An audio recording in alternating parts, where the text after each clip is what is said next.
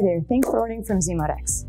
Your order will be processed as soon as possible during our regular business hours, 8.30 to 5.30 Eastern Standard Time, Monday to Friday, and except on weekends and Canadian holidays, which your order will be processed next business day.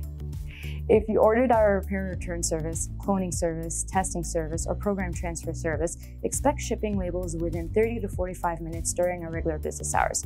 If you've placed the order on the weekend, expect the shipping labels on Monday. If you've ordered a pre-programmed unit or stock item where a core fee is applicable, shipping labels will be inside the box for you to return your old core so you can get your core refund. Please follow the shipping instructions closely in this video to avoid any additional fees, lost packages, or delayed packages.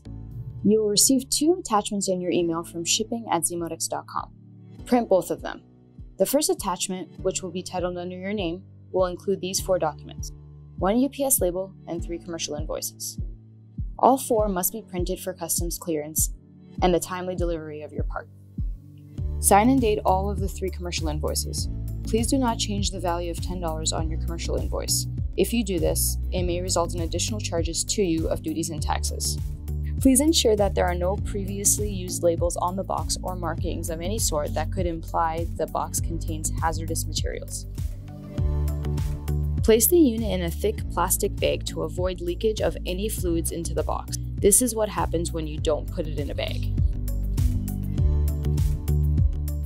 So to avoid this, Please package carefully and properly as it stands the chance of getting lost and discarded by customs. When packaging your module, ensure all units are packed without any movement within the box to prevent any damages while en route to our location. Damages that do occur cannot be refunded by XeMODeX. This will be at the discretion of UPS and a claim will have to be filed.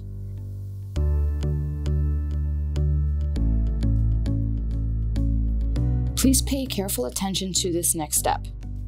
The second attachment you printed, titled Faulty Symptoms Report, must be completed to ensure the proper diagnosis and repair of your unit. Please fill this out with as much information as possible. Place the completed Faulty Symptoms Report in your box. It can go just like this. Once the module is packed and ready to go, seal the box properly and complete the following.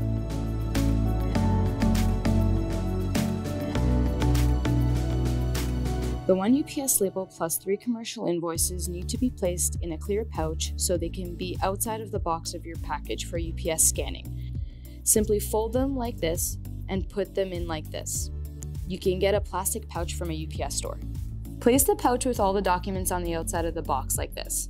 If all four of these documents are not on the outside of the box, there will be either a delay with your shipment in order to obtain them, or it will be returned to you and additional costs may apply so ensure you follow the instructions properly, please.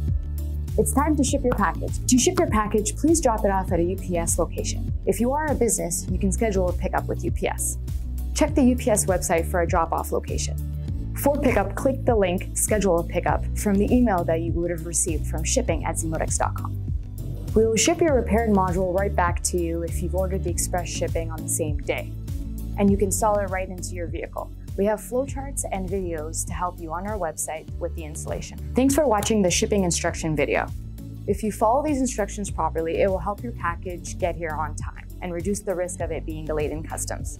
We hope you're satisfied with our products and services, and if you are, please leave us a Google review. If you're still not sure what to do after watching this video, please shoot an email to shipping at xemodex.com. Thanks for watching.